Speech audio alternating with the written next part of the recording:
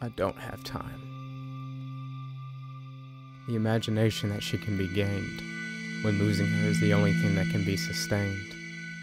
Procrastination that continues to follow every excuse, the creativity that's being misused. Forgetful of the directions I wanted to go, only to be replaced by destinations I was never meant to know.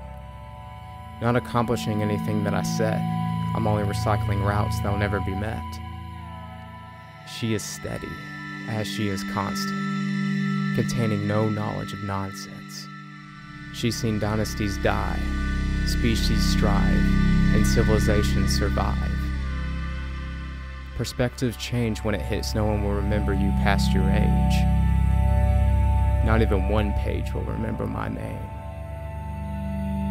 I find comfort that my time here is a single instance, no need for remembrance past my existence.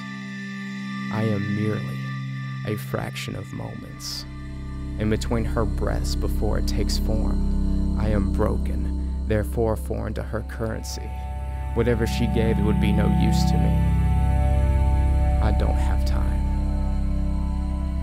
Empty ambitions that tempt me will only take away my vision to see. Empty knowledge that defines me will only make barren the valiant that resides in me millions of seconds in this prison of mine, caged in the predictions of my mind, breathing through a projection of pupils instead of the reflection looking past you.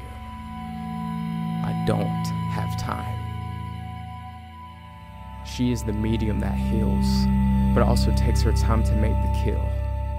An untouched force that freely moves, trapped in her system but can be of use. Losing time is inevitable, but that's not what I fear. Only the things I did do while I was here. Actionless conversations, useless reflections, limitless times I didn't change perceptions. I think I have time, but I don't.